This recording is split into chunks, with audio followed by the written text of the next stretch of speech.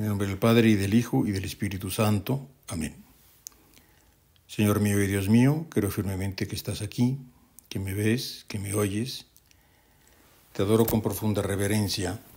Te pido perdón de mis pecados y gracia para hacer con fruto este rato de oración. Madre mía Inmaculada, San José mi Padre y Señor, Ángel de mi guarda, interceded por mí.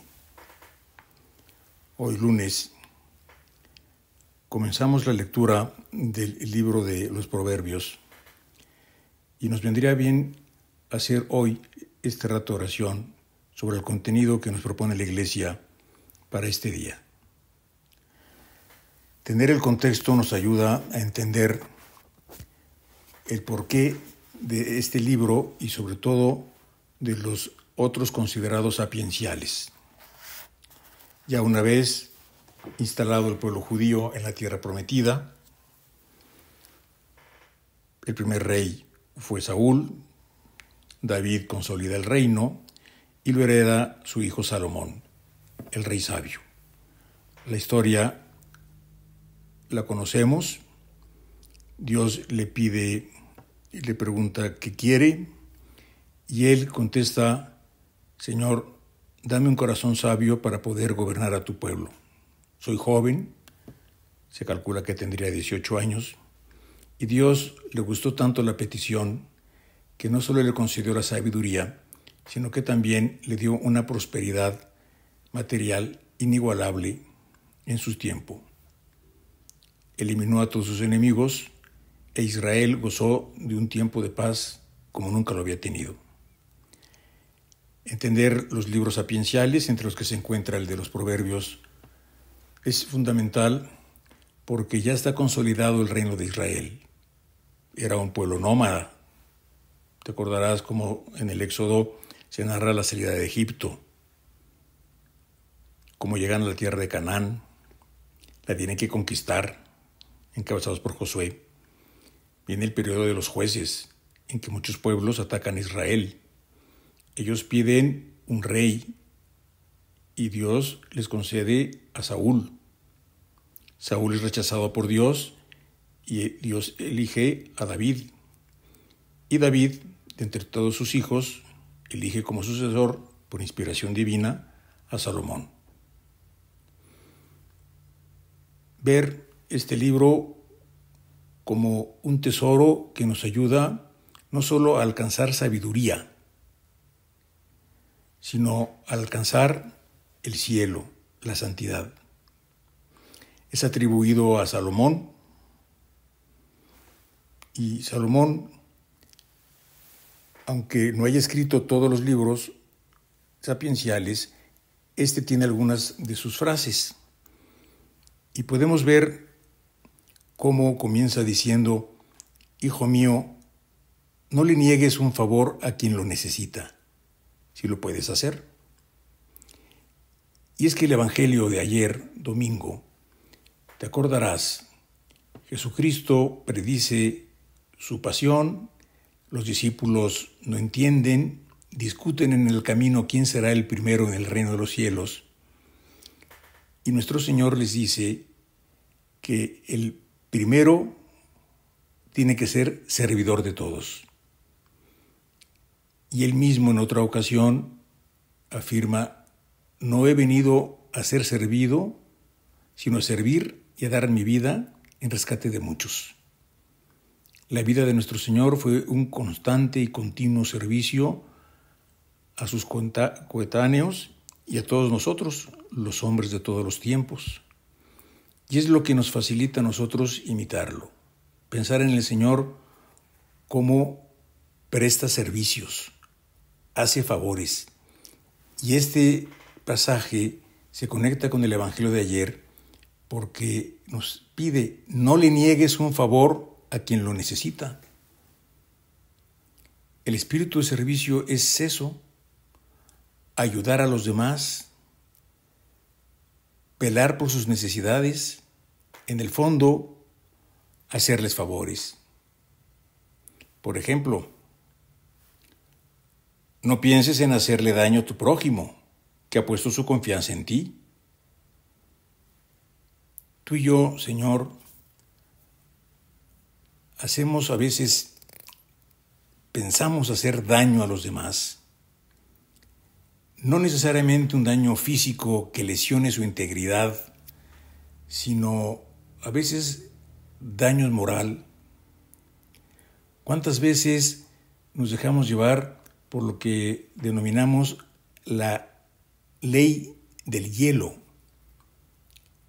El evitar hablar e incluso mirar a una persona con la que hemos tenido un problema. La indiferencia es un pecado contra la caridad. ¿Y cuántas veces nos comportamos con los demás así? Sin importarnos absolutamente nada de su vida ni de sus cosas. Y eso pues es hacerle daño.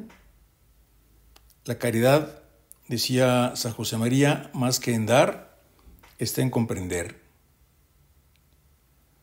Tú y yo comprendemos a los demás, porque cualquier cosa de otra persona debe ser muy nuestra, porque todos somos hijos de Dios. Y más aún cuando el libro de los Proverbios en el día de hoy nos pide que no le hagamos daño a quien ha puesto su confianza en nosotros. Mira qué bonitas son estas eh, pues, recomendaciones, estas ideas para vivir bien la caridad y en concreto el servicio a los demás. Otra frase también impactante que nos puede ayudar para hacer un poco de examen. Dice, con nadie entables pleitos sin motivo, si no te ha hecho ningún daño. Tú y yo somos peleoneros, aunque no estamos en tiempos de cuaresma, pero San Agustín tiene una frase redonda que nos puede ayudar para mejorar en estos días, ya casi al final del año litúrgico. San Agustín decía que el ayuno que nos pide Dios es el ayuno de discordias y dependencias. Ser pendenciero, ser pendenciera es lo mismo que ser peleonero. ¿Y cuántas veces, Señor, tenemos que pedir perdón y lo hacemos ahora, yo en primer lugar, por pelearnos por cosas tontas, sin importancia, que no tienen trascendencia? Y no seguimos este consejo del Espíritu Santo puesto a través de Salomón en la Sagrada Escritura. Con nadie entables pleitos sin motivo. Empezando por nuestra propia casa, nuestra propia familia. Yo que tengo la gracia o el gusto de confesar en un colegio de niños, la mayoría de las cosas que se confiesan, con esto no violo el sigilo sacramental, es de pelearse con los hermanos. Y es que los niños tienen tal conciencia y delicadeza de conciencia que se dan cuenta de que pelearse con el hermano no está bien. Por eso se confiesan de eso. ¿No podríamos proponernos luchar en evitar los pleitos, las peleas, los reclamos, el tratar pues lo que se llaman temas gatillo, es decir, temas que cuando se tocan hacen daño, hieren a los demás. Hay una casa, un centro del Opus Dei en Guadalajara, que está en la parte de atrás de la iglesia de San José María en esa ciudad, en donde vive un sacerdote español de Madrid y lleva pues 60 años, 50 años viviendo en Guadalajara. Y su equipo es el Real Madrid. Y podríamos decirlo un poco en plan de choteo, es irracionalmente fanático del Real Madrid. Y es muy bonito ver que cuando el Real Madrid pierde, que pierde pocas veces, en su casa no existe el fútbol. De ese deporte no se habla. Para tener este detalle de delicadeza con una persona mayor española que ha dado su vida por México y para México. proponernos no tocar temas gatillo, aquellos que si sabemos que los tratamos, herimos, la pasan mal los demás.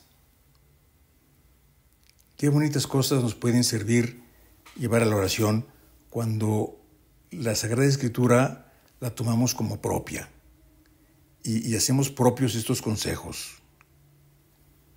No envidies al hombre malvado, ni imites sus acciones, porque el Señor aborrece a los perversos y es amigo del hombre justo. Mira, la envidia, un pecado muy feo, que es el pecado del demonio, además del de la soberbia. Pensar, Señor, yo me entristezco por el bien ajeno. Tengo envidia de alguna cosa, de algunas personas. Ayúdame para concluir este rato de oración, el que haga un buen examen de conciencia y sepa vivir estos consejos que tú, a través del Espíritu Santo, nos has transmitido por medio de el rey Salomón. Que verdad, de verdad, estos días que vamos a leer el libro de los Proverbios, lo veamos así. Consejos de Dios, de ti, Señor, para ser santos, para ganarnos el cielo. Te doy gracias, Dios mío, por los buenos propósitos, afectos e inspiraciones que me has comunicado en esta meditación. Te pido ayuda para ponerlos por obra. Madre mi Inmaculada, San José mi Padre y Señor, Ángel de mi guarda, interceded por mí.